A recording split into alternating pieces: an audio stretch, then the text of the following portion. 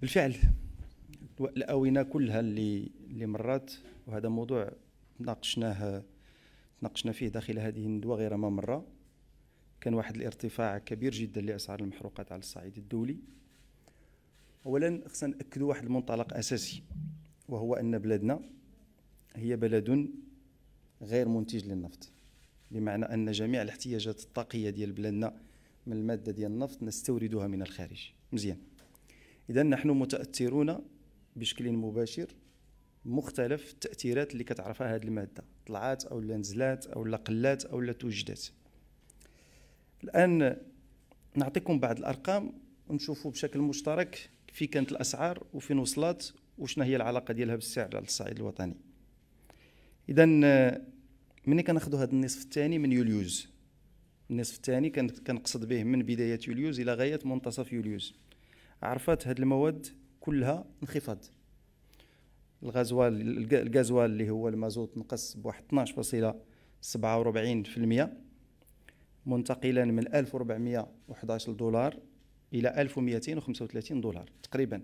كان في 1100 وطلع عاود ملي كتاخذ المتوسط ديال هاد ال 15 يوم كتعطيك 1235 دولار.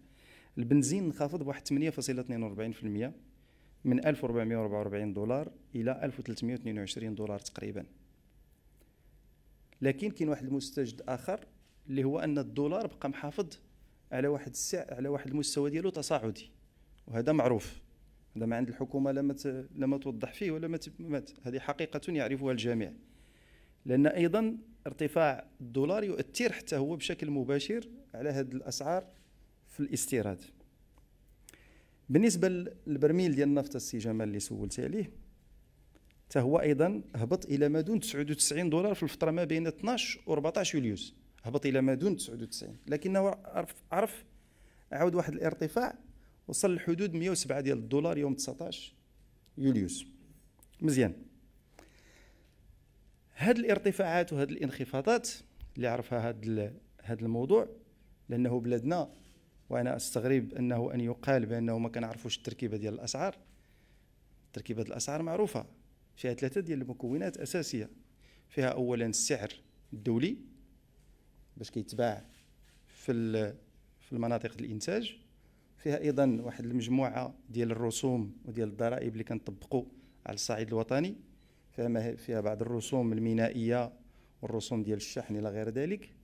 وفيها أيضا الرسوم ديال لاتيك اللي هي الضريبة على الاستهلاك وفيها لاتيفيا اللي هي الضريبة على القيمة المضافة وتيبقى واحد الجزء صغير اللي هو متعلق بالهامش. وإلا سمحتوا لي باش باش نفهموا هذه العملية بشكل مبسط السعر ديال ديال ديال البنزين في بلادنا وديال الغازوال في بلادنا 61% منه تيشكلوا السعر الدولي.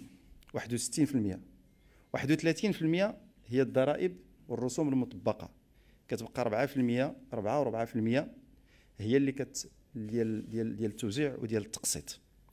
دابا الآن ملي كناخذ السعر على المستوى الدولي وكنزيد ليه يعني التكاليف ديال الشحن تنوصل ل 61% 31% هي الرسوم والضرائب اللي تكلمت عليها. واللي بالمناسبة ملي كنعمل واحد المقارنة ما بين الضرائب والرسوم المطبقة في بلادنا تلقاها مقارنة مع مجموعة من الدول خاصة الأوروبية تنخفض بشكل كبير جدا. اذا من يتحكم في هذه المادة؟ يتحكم فيها السعر الدولي ب 61% والضرائب والرسوم ب 31% وكيبقى ذاك الهامش اللي كيتعلق بالتوزيع وبالتقسيط. مزيان. الآن كيتطرح السؤال ما العلاقة ما بين البرميلي والمواد المكررة اللي هي المازوت. في السنوات الماضية كانت العلاقة ما بين البرميل كانت كتعطي يعني كان البرميل تقريبا إلا كان في حدود يعني أقل من 100 دولار كان كيعطي تقريبا تقريبا